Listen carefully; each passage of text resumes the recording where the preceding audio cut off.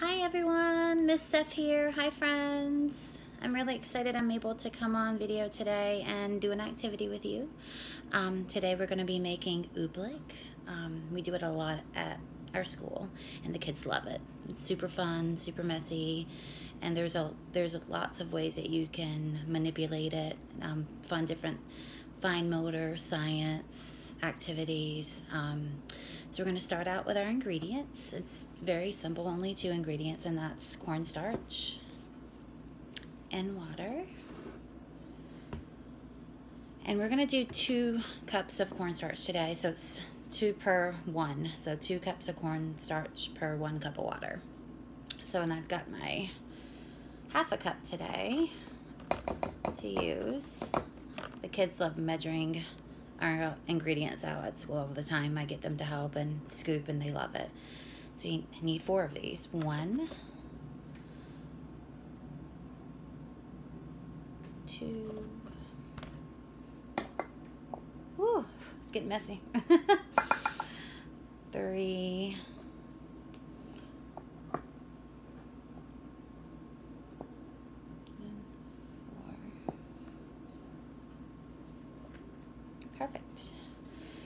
And I've already have my water measured out, eight ounces. Um, to make it extra fun too, you could always add color to the water to make your oobleck a, a, a color. Um, I love blue, so I'm using blue. And the kids at school love blue too, my friends. Put in your color. Ooh. Looks really cool. It's pretty neat to watch it mix together like that. I'm just gonna take this side of my spoon and stir it in. And then you just add the water to the cornstarch.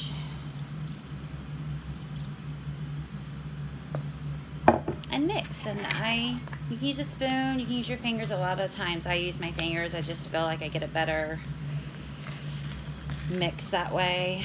And it's fun. It's fun to get all messy sometimes. I know my friends love it. I stir it in a bowl, but I'll usually pour it in some sort of a um, pan or or a tray so the kids can spread it out easier and it's just fun to do. So I'm just going to show you really quickly what it looks like right here. Mixing it up.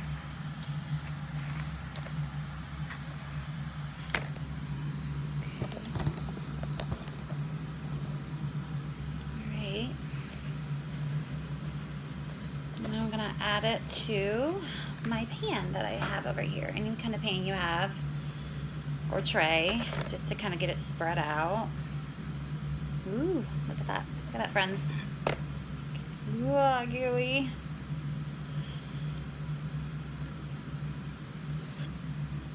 Pour it in my pan.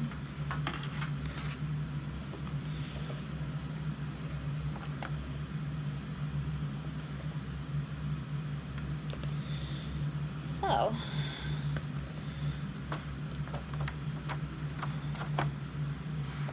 as you can see, it.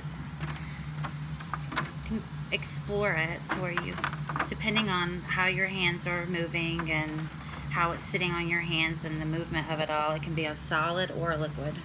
It's very interesting, the texture of it.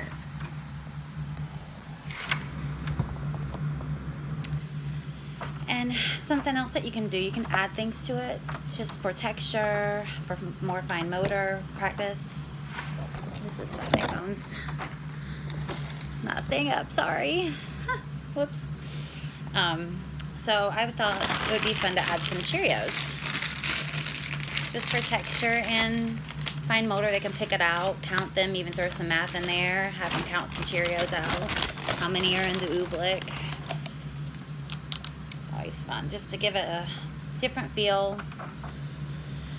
And another fun way to to use oobleck is to freeze it if you put it in um, ice cube trays and freeze them, it becomes a whole different way of, of sensory for them. And it's cold, but then it starts to melt and it's soft and it's not gooey because it's frozen. So it's really, it's, it's interesting. It's very, there's a lot of options for oobleck and sensory play. And um, I hope you guys have enjoy making your own oobleck.